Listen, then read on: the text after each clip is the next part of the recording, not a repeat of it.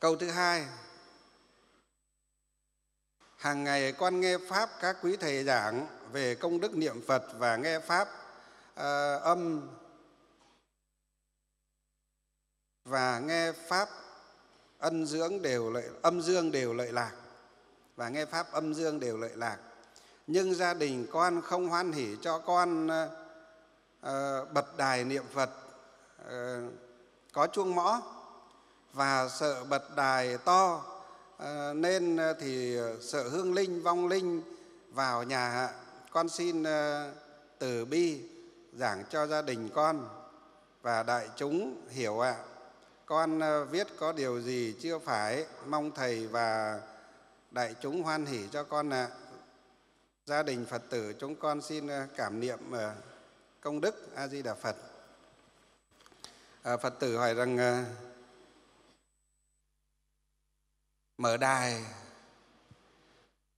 Có chuông mõ ở nhà người thân không cho mở. Thì bây giờ hỏi như vậy có sao không? Không sao. Ví dụ như mở đài có tụng kinh có chuông có mõ thì tiếng chuông tiếng mõ nó là hiệu lệnh. Chứ không phải là đọc kinh có chuông có mõ là ma quỷ nó theo nó vào. Nói ai mà nói như thế ai mà giảng như vậy cho các phật tử. Nếu mà sư á, mà giảng cho các phật tử bảo là tụng kinh ở nhà mà tụng kinh có chuông có mõ là vong linh ma quỷ nó theo nó vào á, thì cái vị sư đó là chả hiểu cái gì cả. Nếu mà phật tử nào mà đi tuyên truyền với tín đồ phật tử, với bạn bè của mình, với người dân là ở nhà không được tụng kinh có chuông có mõ hoặc không được không được mở đài tụng kinh có chuông có mõ, có chuông có mõ để ma quỷ rồi vong linh nó vào á, thì phật tử đó quả thật là gì? Là con của ma vương. Đi tuyên truyền phá pháp của phật. Chuông mõ chính là hiệu lệnh của nhà phật chúng ta. Chứ làm gì có cái chuyện mà tụng kinh có chuông có mõ là ma nó về. À, ma quỷ vong linh nó về quấy phá không có cái chuyện đó. Đó. Chúng ta phải hiểu chuông mõ chỉ là hiệu lệnh để mình ờ, tụng kinh niệm phật cho nó đều. Nó đều nhau thôi. Mà nghe tiếng chuông á chúng sinh là còn gì còn thức tỉnh nữa cơ. Đó.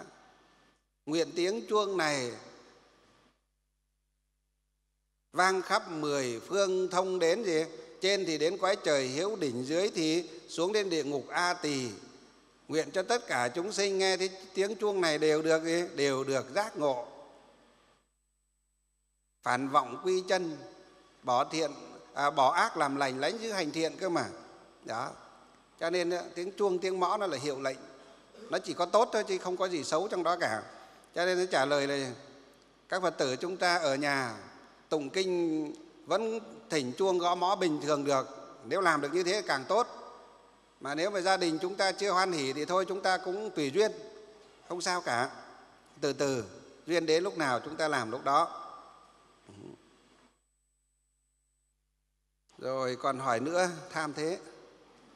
Con xin ờ, cảm niệm công đức của ban trai chủ và các mạnh thường quân và các bác, các cô, các chú và các cháu thanh niên tình nguyện đã không quản ngày đêm, chấp tác và phát tâm, trợ duyên cho buổi pháp hội, cho hàng phật tử chúng con được ờ, về dự tại pháp hội, vô lượng an lạc, vô lượng cát tường thành tựu viên mãn nam mô công đức lâm bồ tát ma tát. Lời ờ, chúc ờ, cảm ơn tất cả mọi người. A di đà phật.